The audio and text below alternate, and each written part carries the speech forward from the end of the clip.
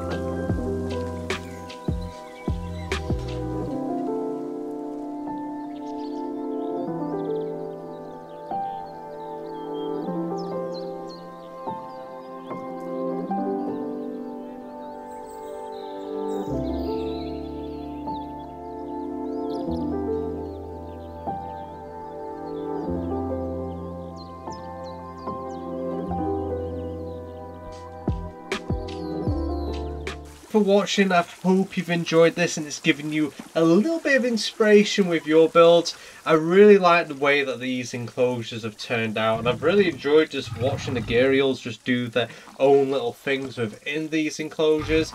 And yes, there's just one in every enclosure. I feel like it just sort of meets that look. And uh, yeah, if there's anything you'd love to see me make an enclosure for, let me know in the comments below. As well, if you'd like me to see if I can replicate some real world enclosures, it'd be kind of cool to see what you would like to see. Anyways, like always, till next time, see you later.